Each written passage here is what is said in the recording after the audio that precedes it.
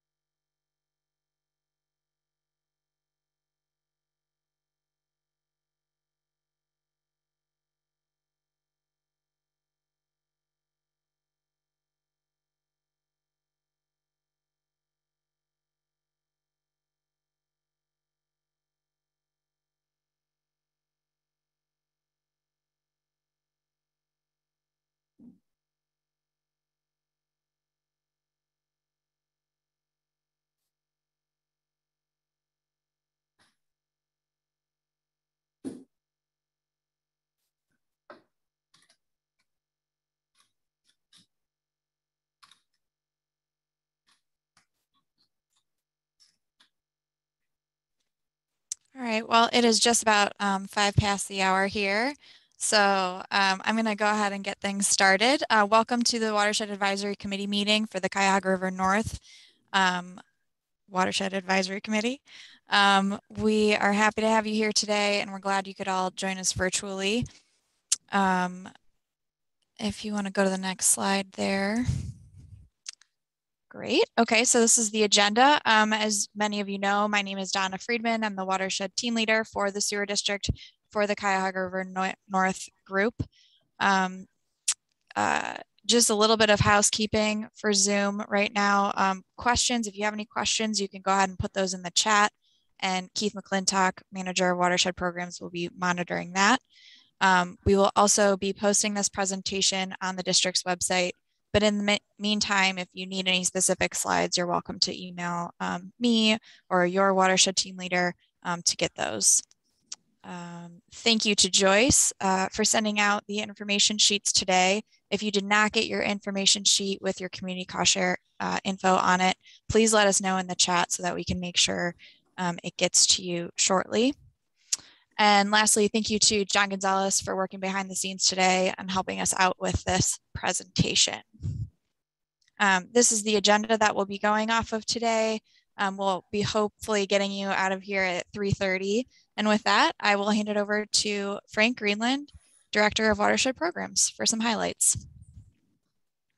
Okay, I want to uh, thank everyone for attending. This is our first Watershed Advisory Committee in the fall of 21. We've got a good presentation today. I, I just want to highlight a couple items. Um, you're going to hear from Justin Tellep, who's in our water quality and industrial surveillance group, about a pretty neat project on Plum Creek with that involves fish uh, relocation, translocation to Plum Creek, and it's it's a really neat effort. And it was his idea to, to pull this one off, and I think it's great work. Um, George Remus is going to talk today about the work he's doing to try and refine and expand our regional stormwater models to start looking deeper into um, solving local problems, local stormwater related problems. And I think as we advance the program,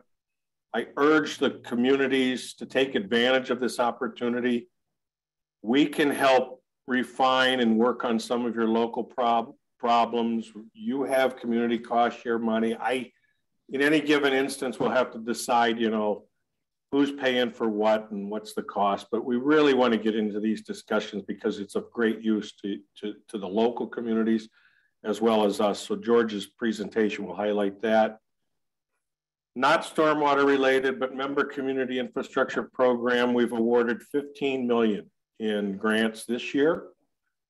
Um, that will hopefully hold for the next five years in our, our 2022 through 2026 rate hikes that the, the board adopted this year. Uh, each year there should be 15 million uh, for that member community infrastructure program, and I urge you to take advantage of that opportunity. Lastly, I just wanted to mention that for the 2022 through 26 uh, period, the board has adopted a, a wastewater rate, stormwater fee increase of about, it's 4.2% annually. So those stormwater tier two monthly fees that are now 515 go up to 537 next year. Fairly nominal, but it does give us a little bit more breathing room to allow us to do more construction, design and construction projects. You'll hear about the master planning effort. We're about done with four big time master plans. I think the total to get to a 100 year level of protection, which is very difficult in certain areas, is over $1 billion. So significant need.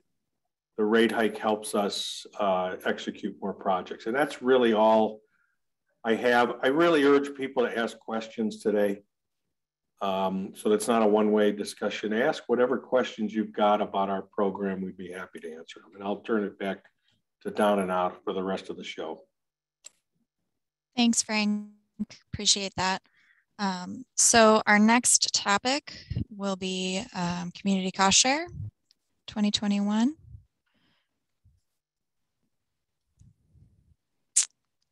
Uh, if you want to hit the slide there, John. There we go. All right, so almost 31 million um, has been set, spent since the initiation of the stormwater program, and there's about 22 million in the hopper um, to be spent. So if you're having trouble finding ways to utilize your community cost share funds, you're welcome to reach out to your watershed team leader.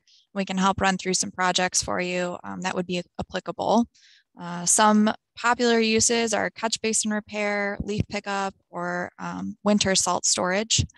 Another note on community cost share, we are hoping to launch a live dashboard for communities to view their individual balances um, so that you won't have to reach out to your watershed team leader, although you're always welcome to um, in order to get that information. Um, next up, we have the local sewer system evaluation studies, diving deep uh, just briefly into the wastewater side of things. Um, so these, uh, our LSSES studies are, are coming to a close across the board. Um, so we're working on reviewing the final community reports now.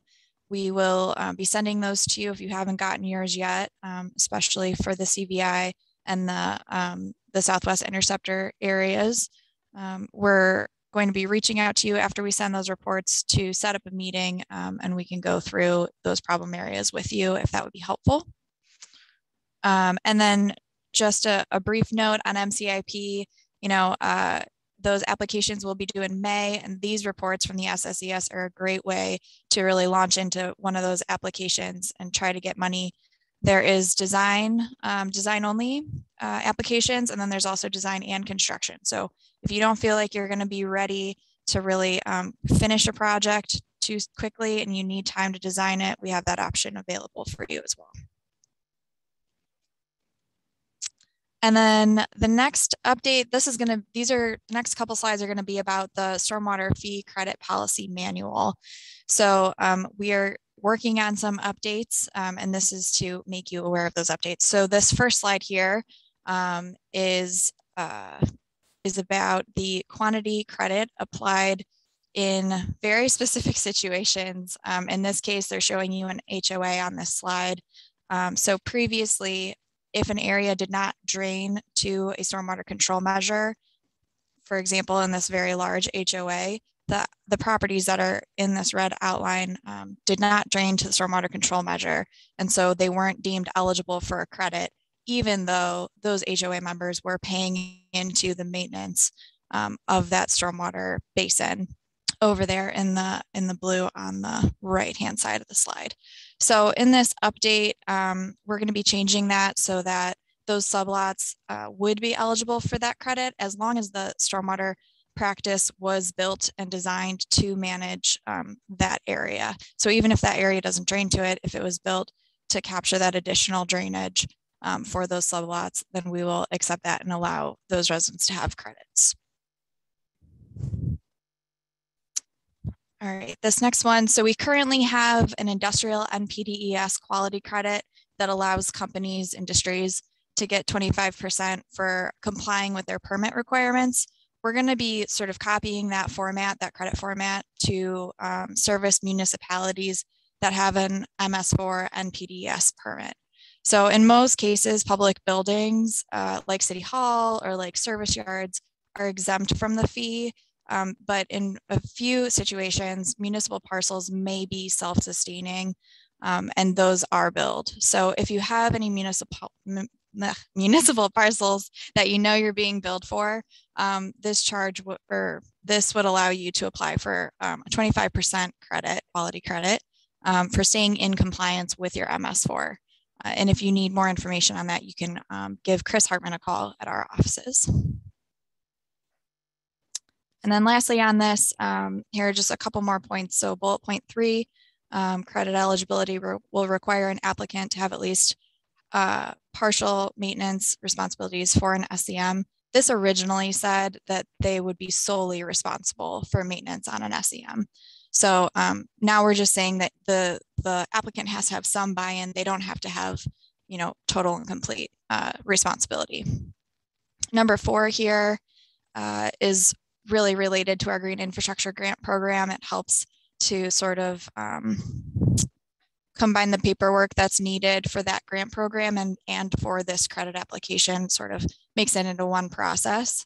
And then bullet point five here um, is to allow people to complete inspections during months when there is less snow on the ground because we were having some renewals come up um, in November and December and nobody wants to do an SCM uh, review inspection in, in those months. So this will make it a little bit easier in order to do those in the spring or in the summer.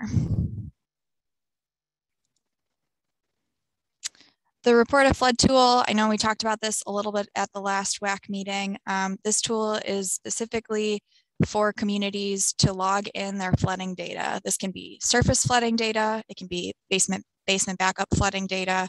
Um, it's a very easy to use tool. We also have a paper format, we have an Excel format, any kind of format you need, we'll get it to you. We really just want to start getting some data put into this tool. I think right now we have about 300 entries um, and this data is exportable. So once you put it in, if you want to apply for an MCIP project um, and you know that the area is flooding and that you've logged a bunch of flooding data into our raft tool here, um, we can help you export that data and you can then attach that to your MCIP application or any other applications that you might be going for when it comes to um, funding for these large capital improvement projects.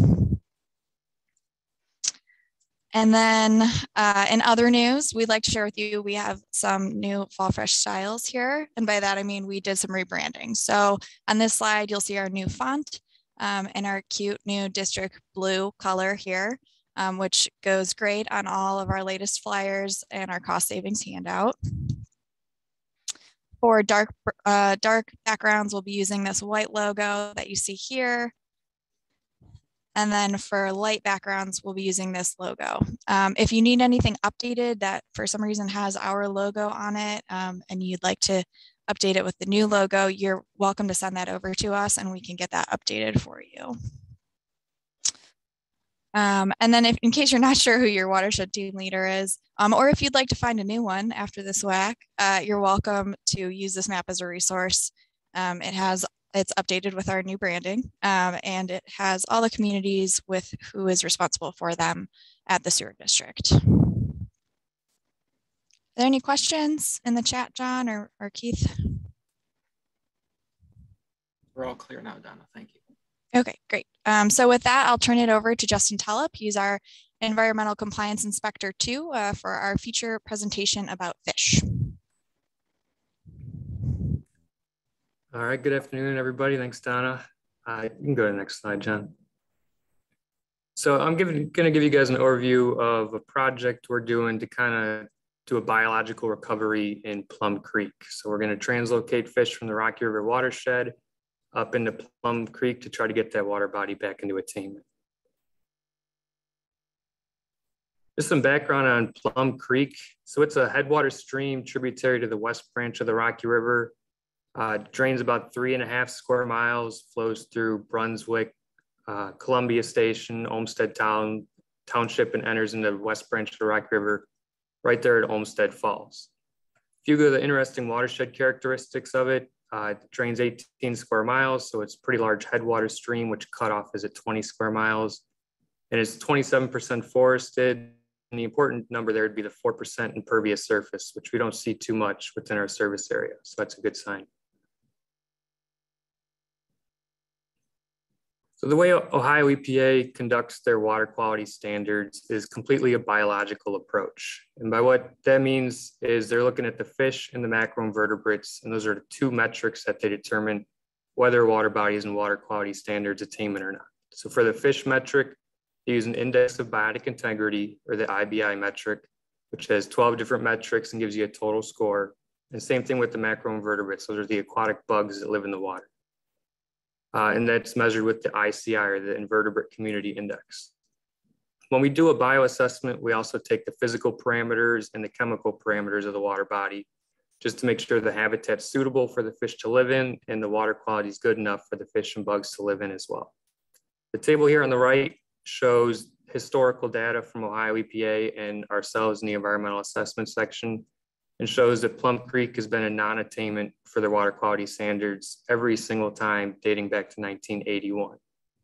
So prior to the 90s, uh, it was listed as impaired due to gross organic enrichment would be, which would be poor wastewater treatment, poor chemical water quality. And then moving forward into the 2000s, it was listed as having nutrient enrichment. So it's enriched with nutrient, algae, and whatnot. And then the most recent one the Ohio EPA did their bioassessment in 2014 listed it solely as natural sources. So how did we get from that gross organic enrichment, poor water chemistry to basically no water quality issues at all? Well, in 1983, we started to plan for our Southwest Interceptor expansion which the Southwest Interceptor is a very large trunk sewer, sanitary sewer that collects all the local system that the cities discharge. So when the Southwest Interceptor went online back in 1997, it redirected flows from the Brentwood, Western Ohio Utility, and ODOT Park 339 wastewater treatment plants, which were tributary to Plum Creek. And that right there eliminated over half a million gallons a day of wastewater, which was really poorly treated to Plum Creek. So currently there's only one wastewater plant, the Plum Creek plant, which is very small, average design flow of 0.04 million gallons a day. And that took care of the organic enrichment portion that was impaired. Moving on to the nutrient enrichment, that was mostly Ohio EPA's job during that. They listed it as impaired based on nutrients. They developed the total maximum daily load in 2001 just for Plum Creek and then that, what that did is it put uh, restrictions on what that Plum Creek wastewater plant could discharge in terms of nutrients. And actually in 2019 and 2020, our monitoring at the district has demonstrated that the creek is now meeting all of its criteria that's outlined in that TMDL. So the Rocky River has come a long way in terms of biological recovery and water quality as an overall. Back in 1981, their assessment shows a lot of red, which would be fully impaired uh, based on the biological criteria. So you have the whole main stem of the Rocky, a lot of their tributaries on the northern end are red. Yellow would be partial attainment, which means either the bugs or the macroinvertebrates or the fish are meeting, but not both. And then moving into 1997, the figure in the center there, you're still really not seeing much of that recovery on the Rocky River those wastewater treatment plants are just being taken offline and you're not going to see a recovery right away. The figure on the right here shows uh, what the Rocky River looked like in 2014 and 2015. And it shows almost a complete recovery of the Rocky River main stem, the west branch, and the east branch. So when the Southwest Interceptor went online in 97, it took more than just those three wastewater plants offline we took the Brook Park, Middleburg Heights, and a total of nine wastewater treatment plants were taken offline and now discharging to the Southwest Interceptor out of the watershed.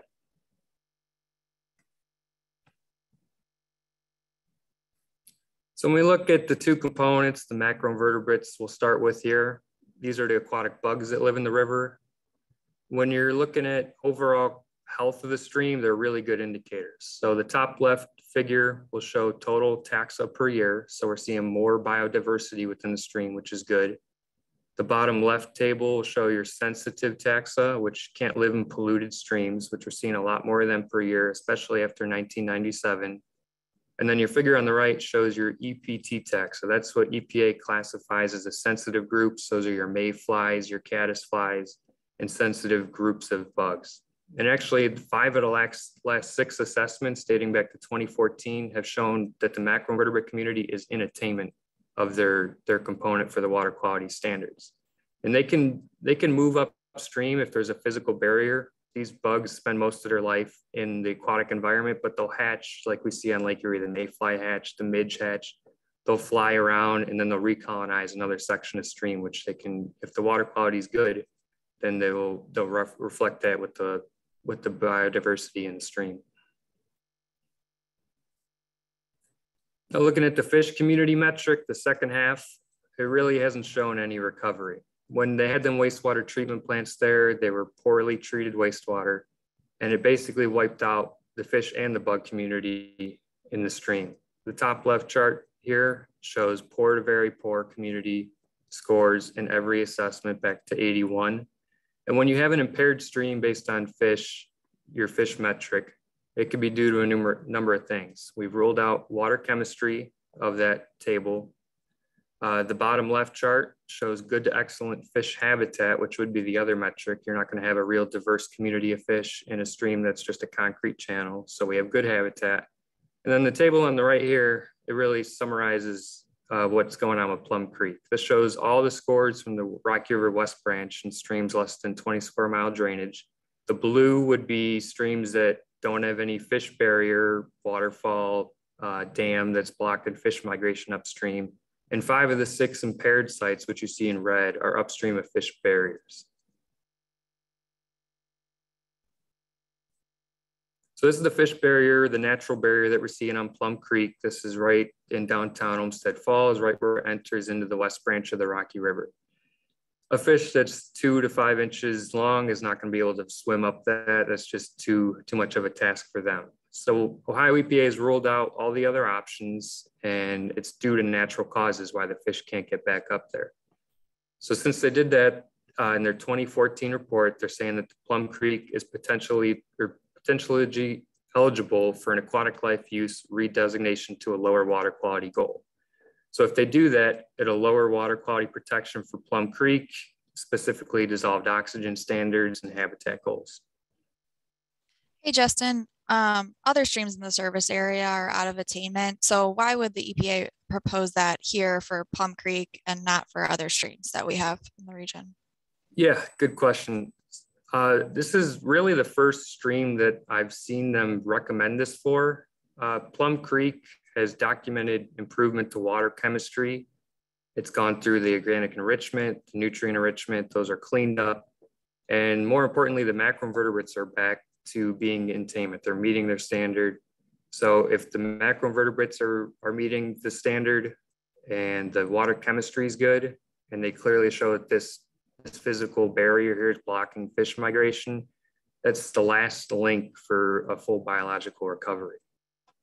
And other streams in the service area, you know, they have other problems with water chemistry or habitat. So Plum Creek's kind of a unique stream in that term. All right, thanks. Mm -hmm. So that 2014 report that I was talking about actually came out in 2020 from Ohio EPA. So what Ohio EPA recommended to how to handle this biological recovery was a seeding of Upper Plum Creek with a representative collection of headwater fish species from adjacent waters within the basin should be considered. And if uh, whoever picks this project up is successful, it'll contribute to the aquatic life use restoration and eliminate the need to actually lower its water quality goal. So when we read that, we kind of figured, let's try to make this happen and we aligned it well with our water quality and resource management focus area and our strategic plan as is a really good opportunity uh, to drive water quality protection and enhancement for the region, especially in Plum Creek. So we've already identified and solved numerous of the water quality issues. We're continuing to do that. As Donna mentioned earlier, we have the Southwest Interceptor local sewer system evaluation study coming out soon. It's really just the free fish migration that's hindering its potential to achieve that full biological attainment. So now we have an idea for a project. Now we have to come up with our plan. So we're starting with our species selection. We selected nine fish, which these are all minnows and darters basically. So their max size is really only going to be five to six inches. So we came up with a list of criteria for each species to be included on this list. First, it had never been collected in Plum Creek. Second, it's found in abundance in adjacent waters to Plum Creek. So these are fish that would have likely migrated right back up into the stream when the water chemistry improved. Uh, third, it's got the ability to increase the IBI score, which is your fish metric there. And the table to the right shows all the positive attributes to the 12 metrics of that IBI. So these fish are going to bring that IBI score significantly when they establish their, their population there. And their spawning and habitat preferences are available in Plum Creek. We, I mentioned we take our habitat evaluation index scores and we did a literature review of what these fish need to spawn and that habitat is there for them to be able to spawn successfully. And these are not just real high quality fish. These are just typical fish found in other West Branch headwater streams. So next we, we came up with a plan all source locations where we're going to gather these fish from are going to be from within the Rocky River watershed. We're not trying to transfer them beyond watershed boundaries. And our goal is to put a minimum of 200 fish of each species in the stream per year at two seed locations, which you see here to the right. We're going to carry this project out for three years because it's multiple years doing it. It reduces your uh, environmental variability of a bad spawning year, or weather year that could wipe the fish out increases your genetic diversity and increases the number of fish you put into the stream, therefore increases your chance of success.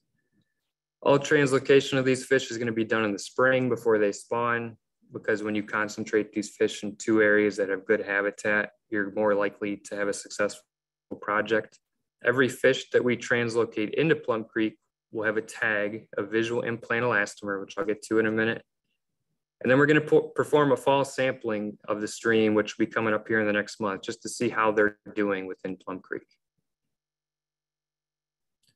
So as I mentioned, we're tagging each fish. This is basically a two-part epoxy mix that a company sells that you mix it, you have an hour and a half to work with it. We'll put it into a little insulin syringe and inject the fish right underneath their skin. It doesn't harm the fish at all they're real happy on the bottom picture here swimming around. So for 2021, we used a pink stripe. So two, three years down the road, we can tell if a fish is still there with the pink stripe. It's happy in the stream. It's living there for multiple years. Their survivability rate's really good. And we can determine recruitment. So that's the successful spawn immediately upon sampling in the fall. So since none of these fish have been collected in Plum Creek before, every fish that we collect that does not have one of these tags in it is going to be documented as one of the offspring of one of the fish we put in there. We can also document movement throughout the stream. I mentioned we had two seed locations. So one seed location is going to be tagged on the right side of their body and the other location will be tagged on the left side. So we can determine if these fish are moving around and colonizing the entire stream reach.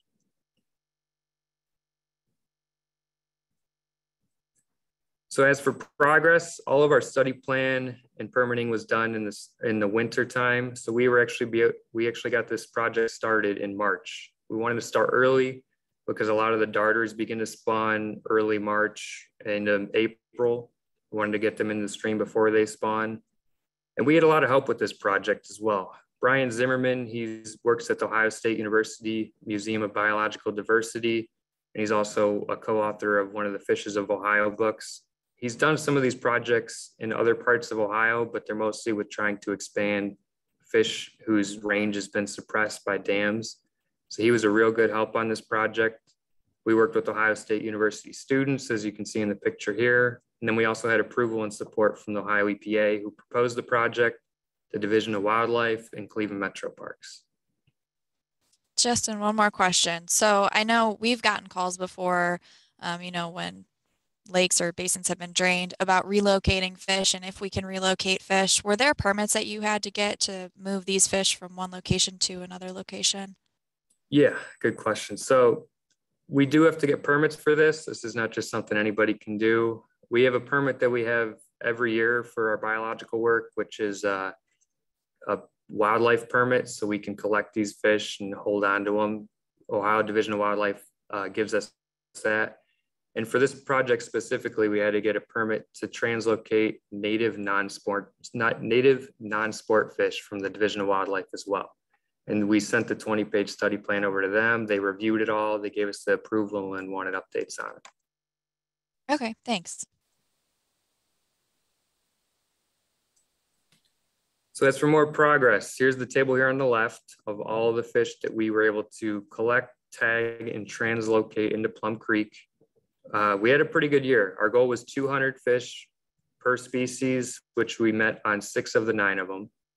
So of total, 3,367 fish were collected and moved into Plum Creek this year. Some fish were easier to collect than others. I think we learned a lot this year, and we're gonna try to keep this progress moving forward. So bringing this, this tagging of the fish and translocation back to the overall goals is to achieve full biological attainment and eliminate the need to uh, for an aquatic life use redesignation to a lower water quality goal.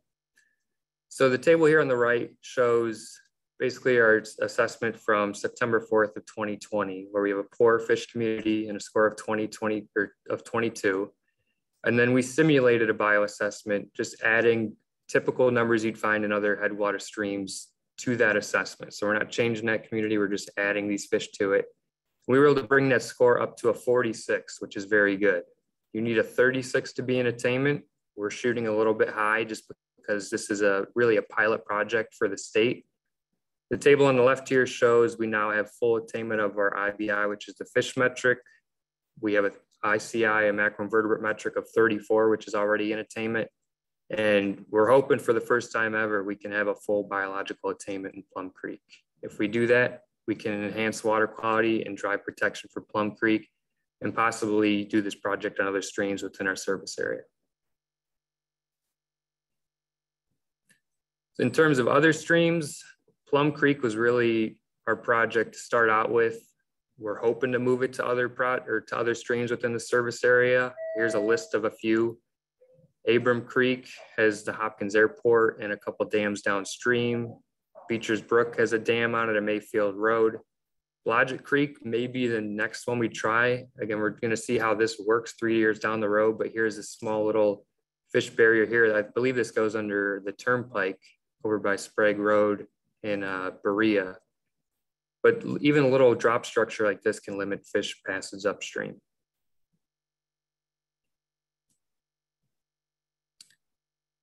Anybody have any questions, comments on it? I know it's a lot to take in.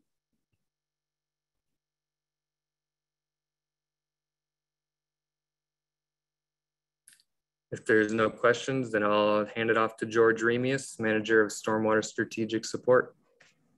Thank you, Justin. All right. Good afternoon, everyone. So my presentation, I'm going to cover two primary topics. One is you've heard us talk about our urgent storm event response in the past and primarily a lot of the steps that we take.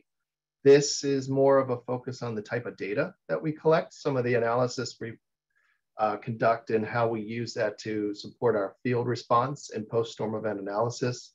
The second one then, as uh, Frank had mentioned at the very beginning, uh, is how we're using some of these stormwater uh, master plan models and extending them into the local system to support some of the local flooding issues um, and looking for regional benefits. Next slide, please. Okay, so um, as I mentioned before, uh, there's a lot of data that we collect and um, I'm going to highlight a few of those here today. Um, the first one is uh, the rainfall data. So we have 40 district rain gauges. We actually added the 40th one earlier this year over our Westerly treatment plant. And that collects five minute time step data um, every day of the year. And we use that data to help identify different uh, heavy rainfall and high intensity events um, throughout the year. And then in addition to that, we also have a gauge adjusted radar rainfall data contract that covers actually a little over 1,300 square miles of the area that drains within our service area or area that drains into our service area. The figure that you see there on the right kind of gives you an idea of that coverage of the area um, and the different types of rainfall that we can um, summarize with it The orange dots on the figure represent some of the stream monitors that we have with the USGS. Uh, we have roughly 40, um, little almost 40 stream monitors from the USGS in there. Uh, 80 monitors total between ours, um, the districts, and uh, an external vendor that's investing in some monitoring. And then we also uh, have trail cams as well. And the trail cams, we have nearly 20 of those. And we use those to help us with um, capturing photos of where there may be flooding, debris, or erosion. Next slide, please. So to talk about the district rain gauges, um, this is something when we have a decent storm event, uh, we're able to very quickly uh, collect the data and then quickly analyze it into a series of different time steps. And we look at these different time steps. You see here on the left, this table of the different rain gauges. And then for the different columns, there's the different durations of rainfall. And we compare our rainfall data to two different references. There's the Huff and Angel series uh, from 1990 that collected data and translated the different depths of rainfall into recurrence intervals from two month up to the 100 year. And then we also have the NOAA Atlas 14 reference that was published in 2004 that does the same durations, but then uh, looks at that rainfall from the one year to a thousand year. And so with the data that we collect, uh, we can quickly do the quick analysis and determine where we might have heavy rainfall which is something I kind of use as roughly two inches or more, um, or high intensity um, rainfall, where if the peak intensity was an inch per hour or more. So looking at this table here on the left, if you use an example, the Westlake rain gauge on the very bottom kind of indicates from a peak intensity, which would be that five minute to peak one hour was very mild. Um, whereas for the heavy rainfall for the peak 12 hour and 24 hour, it was closer to a five-year recurrence interval indicating that there was some heavy rainfall. The figure on the left or on the right shows the cumulative rainfall totals for all the different rain gauges and compares that to the 24-hour um, recurrence intervals of the NOAA Atlas 14. And you can see for this particular storm event that the Westlake rain gauge had exceeded the five-year 24-hour and then some of the other rain gauges, the Easterly, Olmsted Falls, Wade Park, North Olmsted rain gauges also compiled decent storm amounts. So we use these to help us identify areas that we might want to conduct a field response. Next slide, please. So in addition to the district rain gauges, this uh, gauge adjusted radar rainfall that we use, um, we also do the same type of analysis for the same durations, but for a bigger coverage area um, to help us better understand how extensive the rain um, was throughout the area and how that might be leading to a potential flooding that we would conduct a field response. So the figure here on the right, this just shows for one of those, uh, for the coverage area, uh, this was the July 12th event from earlier this year. Uh, gives you a quick snapshot on where you might have had peak intensity. Uh, and this is the 30 minute duration. And some of the areas where you see it's, it's clear was an insignificant amount. And as it got to the different colors that you see in the legend, the darker the color um, or closer to pink, the more infrequent it was. That area that's kind of on the west end, which got as a little bit of the orange grids, indicated a decent amount of rainfall, and that just so happens to be in Plum Creek that Justin just talked to you about. And we have a USGS rain or stream monitor in there.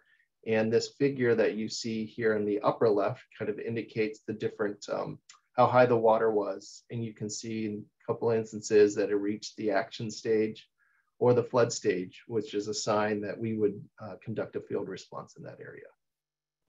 Next slide, please. So with the those stream monitors, I mentioned there was roughly 80 of them. Um, what we're trying to do is I'm a big fan of the National Weather Service uh, flood stages. You can see those on the bottom left there. There's four of them, action, minor, moderate flooding, and major flooding. Action stage kind of indicates that the stream is about to get out of its banks. Minor flooding suggests that there may have been a local road that was flooded. Moderate flooding kind of indicates that there might have been uh, some type of building inundation in addition to some of the road inundation, whereas major flooding indicates roughly a, an entire neighborhood or a lot of buildings and a lot of roads have been inundated.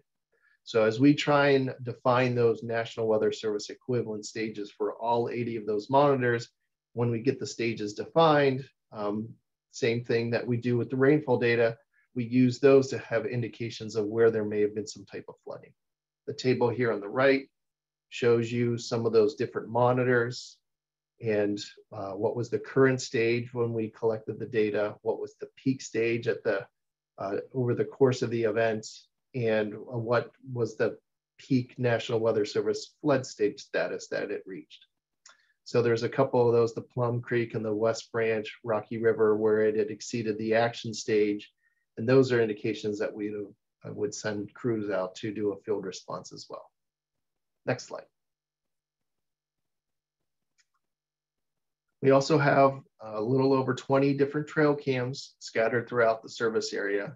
And a lot of these we put into some of these remote areas or flood prone areas or debris prone areas to assist us uh, for field response and also to help us indicate where or uh, figure out where we might need to send contractors to do debris maintenance.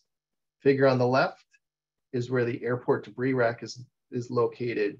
You can see on July 12th is captured a photo where the water had actually gone over the top of the debris rack. And you can see the debris that was piling up behind it. And we would conduct a response here uh, to send our maintenance contractor out there to clean that. The figure on the right is during the September 23rd event. You can see with this photo how high the debris did get. And this also would trigger a response for our maintenance contractor to clean it up. And these are these kind of photos we can compile and actually turn into the equivalent of a video that helps better understand the type of inundation and what happened during that storm. Next slide, please. So in addition to those data sources, once we uh, asked for some field response, some of those field observations, some of the sediment debris accumulation, all the different rainfall and monitoring data we mentioned, as well as customer media, customer media reports we compile all that and we try and conduct a different type of analysis to better understand what happened and uh, what to do about it. So I mentioned a little bit about the rainfall statistics that we compile based upon the different information. And then we also try and compare um, with our models, what would the models have predicted for that particular event compared to what actually flooded and see if there was a good correlation there. Um, and we're also then trying to compile what happened after a storm event and comparing it to other storms so we can see if there's some types of correlations between the flooding and debris accumulation, which uh, sometime we might need to pre present at one of these WAC meetings. So just a reminder um, for those of you who use the report of flood tool that Donna brought up, the more information that we're aware of what flooded, the better it is for us on our field response and with our models, which leads into the second topic. So now that the master plans are wrapping up and the different stormwater models are being presented or being provided to us, we're also trying to make sure that those reflect existing conditions and all of our recommended alternatives as we move from planning to design, eventually to construction. And so those models that we have, they're available for communities to use to support their own local stormwater evaluations. And at times, the district gets requested to assist with some of their local issues. And um, we, when we get involved, we're always looking to help look for opportunities for the regional benefits.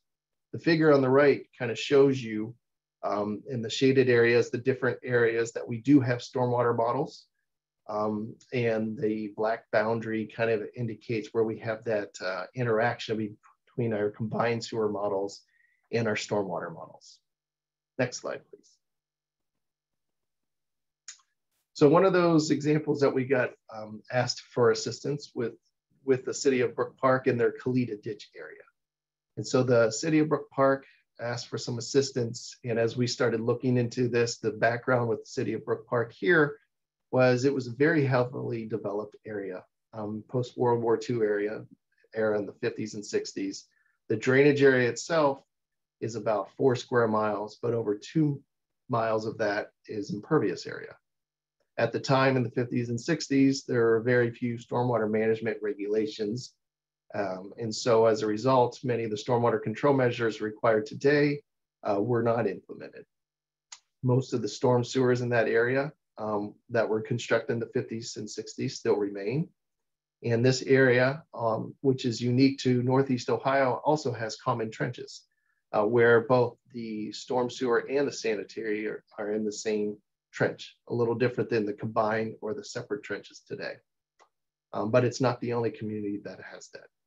And built in, being built in the 50s and 60s, many of those storm sewers don't meet today's standards and are getting close to the end of their useful life. Next slide, please. So just to show you the difference in how quickly this area was developed, uh, the picture on the left shows you an aerial of what the city looked like back in 1951. You can kind of see the darker area um, where there was very little development. And less than two decades later, just more how developed the area did um, become. And uh, most of that area, you can tell, was developed within that period of time. So all the storm sewers, all the infrastructure to support that population were built at that time. Next slide, please.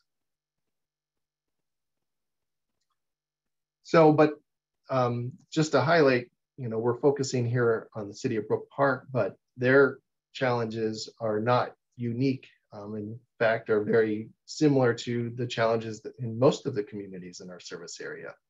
So this graphic here um, indicates just how much of the population of Ohio um, had occurred historically and compares that to the stormwater management regulations over the decades. And you can see on this figure that a little over 10 million of the population of Ohio existed back in 1980. And that's typically when infrastructure is built to support the population. And when you compare that to the types of stormwater management regulations you see on the bottom, whether it's for pipe sizing for capacity purposes, floodplain regulations, stormwater control measures. Uh, very little existed prior to 1980, which is really when things started to require a, a higher capacity for storm sewers, FEMA um, flood control requirements, um, stream setbacks, um, stormwater control measures for flood control and water quality volume. So just with that in mind, it just shows you just how common this challenge really was. Next slide, please. So going back to the City of Brook Park on how do we get involved from the modeling side, um, they're very cooperative and open to all sorts of ideas on how to solve the problems. And as a result, what we realized is some of the problems that they were looking to solve in the local system required a lot more additional detail to the model than we originally had before. So you can see the table on the right has the number of modeled catchments and what was changed um, as part of this um, extension into the local system. So there was roughly 76 catchments at the time. Now there's over a thousand. The average catchment size is relatively good at 33 acres, but it was reduced down to the catch basin level on the residential and to the parcel level for the non-residential for the types of solutions that we were trying to uh, consider as part of this um, evaluation. And then the number of modeled conduits and the total conduit length one time was a little over 50,000 in the area, and it was expanded to nearly 250,000 feet as part of this uh, expansion. Next slide, please. So to help kind of better explain what all that means, the figure on the left shows you the catchment delineations, the hydrologic catchment delineation for the master plan. Um, once again, it was a good level of detail, but what um, has been the update as part of this evaluation is shown on the right, really with the focus of making sure we understood um, at the catch basin level or the parcel level um, how the area is being drained and uh, more or less set up to assist with some of the solutions. Next slide.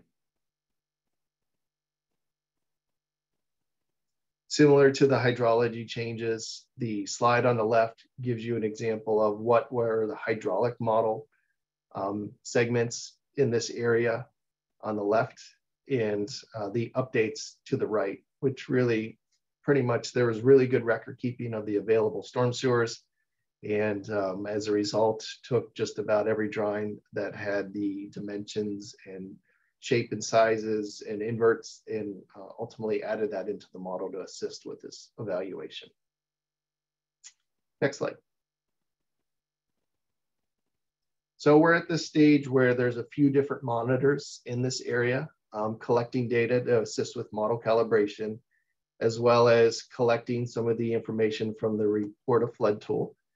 And once the model's calibrated, the next step is going to be um, looking into stormwater control measure solutions.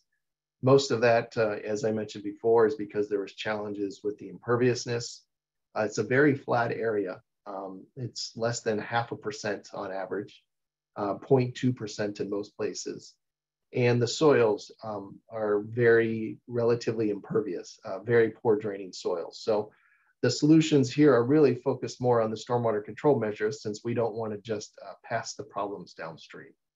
So with the storage control measures that we're exploring, there's the conventional where it'd be more inline, but in order for that to be successful, you need to have enough elevation difference between the upstream and downstream in order for that ponding to not cause problems upstream.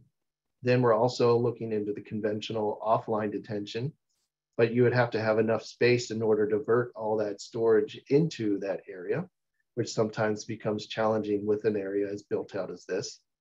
And then the third type is really more of a decentralized, where we're looking at underground storage, particularly in um, non-residential or within the public right of way, which is a relatively new concept. Um, and that is something that we're going to be investing in here um, once the model is updated. So once this is completed, uh, this might be a good topic to bring up to others um, at the next WAC meeting. Next slide. So this is just a picture of the Kalita ditch, the very upstream extent, and where all some of these storm sewers actually discharge. Um, but I will take any questions.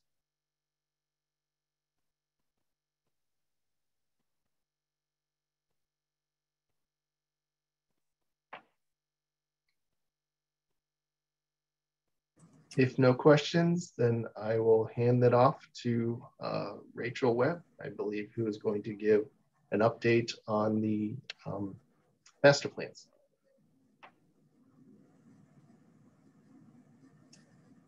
Thank you, George.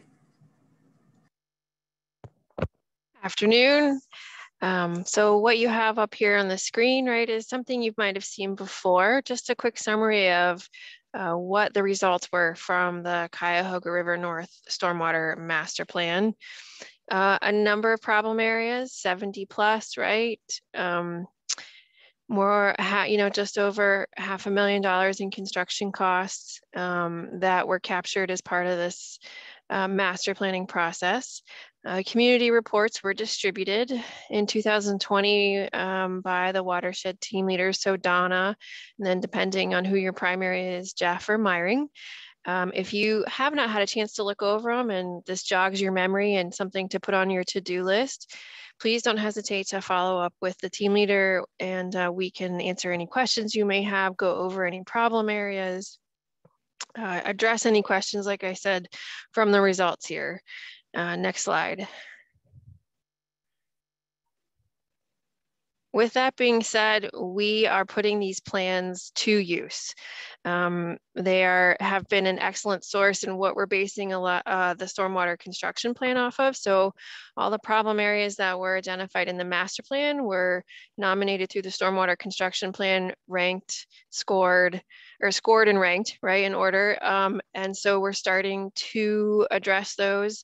Here you just have a couple of examples of um, projects that were pulled from a larger problem area. So that's the ID there, the BCNR02, that's the problem area ID. And uh, from that problem area, we pulled a smaller project, um, which is the Sprague Road project, which is starting construction next year. Um, we have another, we have a, a, couple in Big Creek here that are going on, um, but you can see there is movement um, and there are, we are putting these plans to excellent use and all the information and recommendations that they provided. Next slide.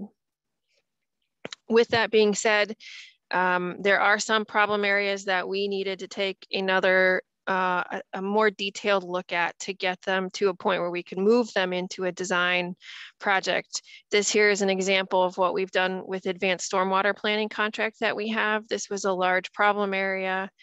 Uh, you can go to the next slide. That um, when you looked at it was had 20 different components. It had a $36 million price tag. And so we needed to look in how we could make that smaller, manageable projects that we could um, start to move through and phase through uh, over time. Next slide. So we started that advanced planning project um, and the results have um, been coming in here uh, this fall we took that large problem area and we broke it up into six phases or six components. And in doing that, we looked at each of those components or phases and the benefit that each one provided um, to the regional system and those buildings, roads, and or utilities that were impacted or were benefiting from that particular phase. And we went through and found the best sequence to maximize the benefits up front for each one of those. So if you go to the next slide, you can see here, this is just a table of the scenario that worked and was optimal and and more often than not, right, this is going to be upstream to downstream, and this is what you have here. No, there's a, a lot here on this slide, but you can see the green numbers and you can kind of move down and that would be the phase. So you have existing conditions. And so you see the 100 year and the number of buildings on the left. And then to the right, you have the number of road segments. Um, and as you move down through the phases, those numbers begin to fall. And that's what we wanted to see. And you'll see the largest jump, right, is in those first couple of phases. I think it's important to note here so that um, the Stearns Farm and the conveyance improvements are two pieces um, that uh, are recommended to be done very close to each other um, in phasing because they, one is very much dependent on the success of the other. So that's why there you don't see a huge drop or a huge change in the benefits in terms of building and transportation segments. Um, however, it is still there. So that's just some of what we're seeing from advanced planning. And I think it's been um, very happy with the results. And so we now have this large problem area that is going to be broken down into these um, five, six phases over time that we can implement. And these are going to be projects that are going to somewhere around $5 million, uh, maybe up to eight, but trying to stay in that 5 million area, if not lower, so that um, uh, we can have multiple projects right across the service area at one time. 36 million is not something that we could do all at once, which was originally the, the problem area total. So, so that's just one of the advanced planning problem areas uh, that we're looking at. Uh, with that, we are um, continuing with advanced planning and we'll have a second contract um, that we'll be letting here uh, at the end of October. Um, that'll go for four years. So um, continue to do work on uh, these problem areas where needed. So uh, that is all I have. If you want to go to the next slide, just a quick snippet of what's going on um, and how we're using what we've uh, received from master planning and, and working in through advanced planning. Any questions? I don't see any, so I'm going to pass it on I think hopefully to Nikki, I think the network issues have been worked out at EMSC. Uh, yes, can you hear me, Rachel? I can, so go right ahead. Alrighty, terrific. Yeah, we did um, lose internet here at EMSC and I'm just connected to a hotspot. So I actually don't know about everybody else. Um, so, okay, let's see, wait, um, is my, is my camera not working? Hmm. There we go. Sorry about that. All right, so uh, hi everybody. Uh, thank you so much for joining us today. I'm going to give you a quick update about our inspection and maintenance program and our demolition uh, services. Although I am a little tempted to go on because I do see we have about a half hour to go until our meeting ends. I'm just joking. All right, so this is our title. Uh, this title slide is actually a great segue from Rachel's presentation. Uh, this is an 11 foot high bank on an outer meander um, with a, within a flood prone residential neighborhood in Parma. So this drop off was actually uh, 25 feet from a house, um, which we required uh, demolished and then restored the property. Uh, this property is included in one of the Stormwater Master Plan's uh, recommendations um, to reduce uh, threats to infrastructure, um, BTU such as a house, and uh, floodplain expansion. So this is perfect. All right, next slide. Thanks. Um, so since the beginning of the year, um, we actually uh, inspected 387 assets. I looked at the number this morning, um, and uh, that's all within the Cuyahoga River North uh, watershed. And uh, 285 of those were inspected in-house by our swim team, and the remaining 100 uh, were completed by other responsible parties, and uh, that's, you know, such as the county, ODOT, Metro Parks, um, and the railroad companies. next slide, please. Thanks. Uh, SWIM performed a routine follow-up uh, just a little over a month ago for erosion adjacent to an apartment complex. Um, the erosion had not been significantly uh, progressing during recent inspections. So this was a surprise to find this during this inspection. Uh, actually, a sanitary sewer had collapsed. Um, so a dye test confirmed that the stream was actually infiltrating the sanitary sewer potentially, you know, causing um, pipe capacity issues and water quality issues. Uh, because it's a locally owned sewer, the city is working with the county on a temporary fix. Um, unfortunately, we do not have a stormwater master plan recommendation for this specific um, sanitary sewer. And that's just really because it wasn't exposed at the time that they were conducting their survey.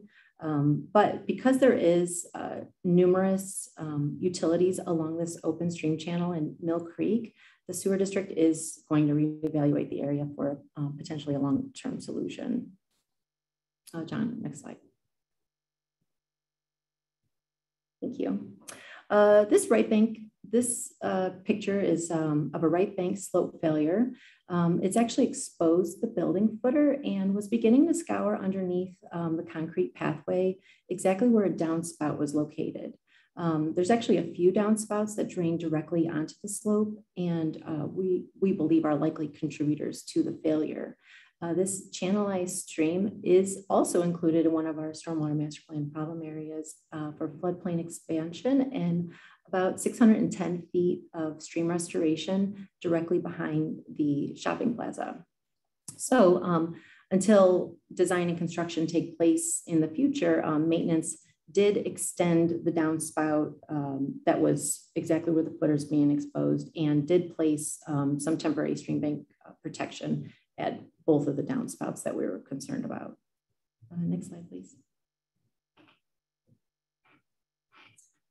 Um, stormwater maintenance. So um, along with stream inspections, we also inspect uh, all crossings and culverts within our regional system. Uh, this is a double barrel crossing, Arch CMP, um, just south of Wilson Mills Road. And um, it's, you know, a CMP, so it's, it's usual that we find um, compression, such as in this one. Um, it's got, ex it's exhibiting heavy rust um, and scaling throughout. Um, it's got extensive uh, section loss at the invert. And um, you can kind of see here that the, the invert has been, it's basically ripped up and upheaving uh, where it's then causing debris to accumulate. So of course, maintenance went out and removed it. And when crossings like this are in poor condition, we do always send out uh, our inspection report to the owner and to their city. All right, move on to uh, the next slide, please. Thank you. so for this year, our maintenance has completed 49 projects uh, within the Cuyahoga River North watershed. Um, the term um, other that you see on the screen, that's attributed to demolitions, uh, small scale projects, and tree removal projects. And uh, we don't typically, um, you know, we don't promote removing live trees, but the only time that we do is if it's leaning at a greater than 45 degree angle and that all of their roots are exposed and it's potentially threatening infrastructure such as like a garage, a house, um, utility line. So just want to clear that up. All right, next, next slide, please. Well, many of you might recognize this uh, basin. This is Carouge Stormwater Detention Basin. Our contractor recently removed thousand cubic yards of sediment um, to uh, restore active storage volume here. Uh, this basin is regularly maintained for both sediment and debris accumulation after storm events. Mm -hmm. next slide, please. Okay, so um, a critical part of our program is the acquisition of properties that are needed for uh, implementing uh, the stormwater projects. So earlier this year, our department um, took on demolition services um, for these properties. Um, this includes an asbestos survey, possible abatement, then removing all structures, including the foundation, swimming pools, decks, hot tubs, um, septic tanks, um, and then finally restoring the property. So um, this photo you see here is actually um, was our uh, first pilot project, our pilot demo that we did in early spring. This is in Gates Mills, uh, Pepper Pike. Um, could you go to the next slide, please? And this is a picture of um, one that we did in, uh, in Seven Hills. So, and just yesterday, we actually demolished a third home in um, North Royalton on Maple Grove off of uh, Thornhurst. So we have an additional uh, four demolitions, demolition projects in the works, and we've completed three so far. So um, that's all I've got for you. I'm glad to answer any questions you may have.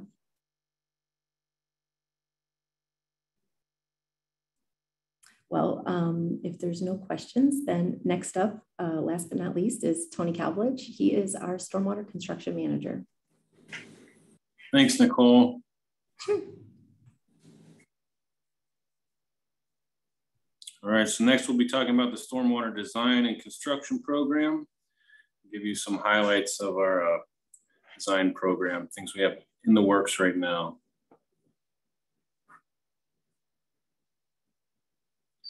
Um, this project is a flood reduction project near Sprague Road. It's in North Royalton and Parma. If you look on the right side of the screen, you'll see some pictures. Um, one is a, a, culvert that we'll need to upsize to get water conveyed um, under the road. The picture below it is at the downstream end of the project. It's uh, some walls that channelize the flow. Um, so the project required us to acquire two uh, parcels and uh, demolish the structures there in order to install stream corridor going through through where those parcels are. Um, there's be a lot of planting and green space created here so that the stream can access its uh, floodplains that we're going to build. This project, West Creek Stabilization, this is in Brooklyn Heights. It's a rather large project for us, uh, estimated 16.7 million currently. Um, if you see the deer in the uh, top picture there, they're standing on, seems to be a small waterfall, but is also a fish passage impediment. So we'll be uh, raising the stream bed here so that there isn't a fish passage impediment. The other picture on the right-hand side of the screen is a flume or a concrete channel. That's uh, and uh, it's a structural failure, I think is the term for that. But uh, we'll be doing a stream rehabilitation through this entire reach.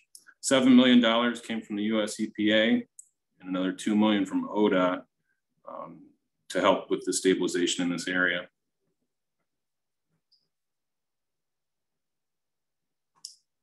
We're also going to do some culvert replacement um, along Pepperloose Creek in the city of Pepper Pike. If you look at the right hand side of the screen picture, you obviously see the, uh, the road is flooding and uh, there are some culverts failing in this area that need to be replaced.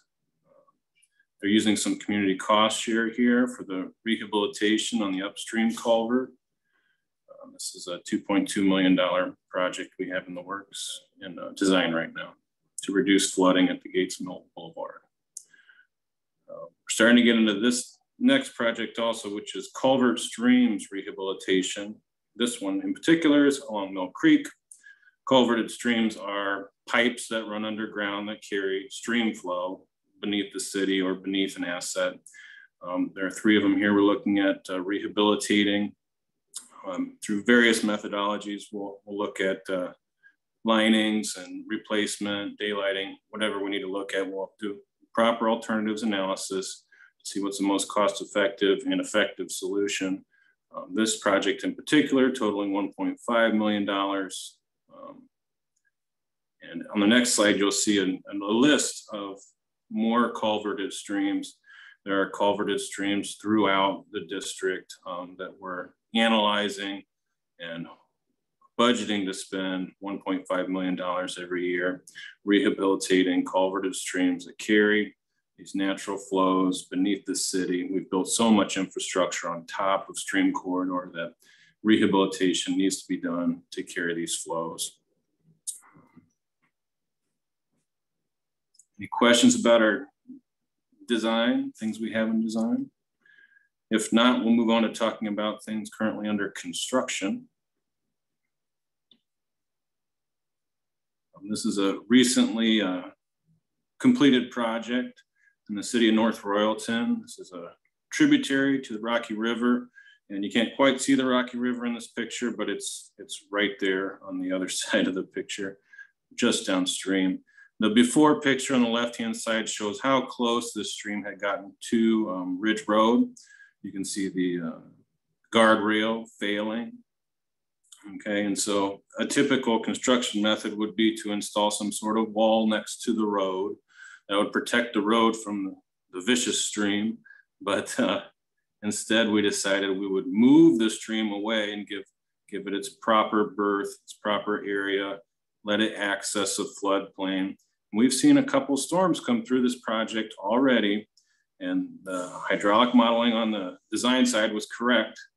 And it seems to flow through this path. You see a sinuous path we've created and access its floodplains and so I think we've put a sustainable solution next to this road, giving each its proper um, berth, its proper space. The stream needs its own space and so does the road. So hopefully they can uh, live together here happily together. So.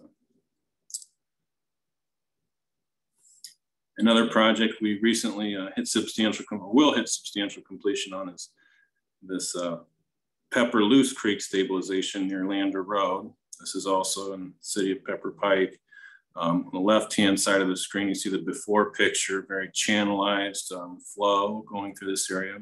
We did acquire one parcel and demolish one residential structure in order to, again, give the stream its proper berth, its proper flow path. We've widened out the channel, we've let it access floodplains, and so hopefully we'll be able to uh, stay here And uh, you can also see the very green established corridor through the area that we are requiring in our construction contracts that there's a germination period after the construction is complete where um, contractors are being held to germination rates and establishing this green corridor as designed. I think that will aid in uh, developing successful projects and turning them over to be properly maintained in the future. That being said, this picture is another completed project, Stickney Creek restoration. We uh, moved a, a sewer out of the stream and the stream away from the sewer, giving both of them space. And it seems to be very uh, happy now with all its plantings and there's usually deer out there. So uh, our methods are working and I think our completed projects will continue to tell that story. Thanks, Tony. Any questions?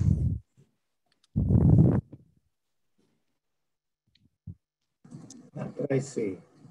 Hearing none. Okay.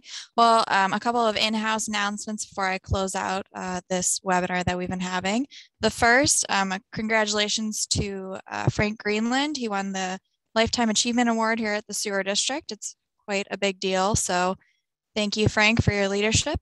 Um, and then Mark Link, our fearless leader um, from stormwater inspection and maintenance, our manager, he will be retiring in November. I'm sure he is very sad that this will be one of his last WAC meetings. Um, so thank you to Mark for uh, helping us all out um, and being with the program from the start.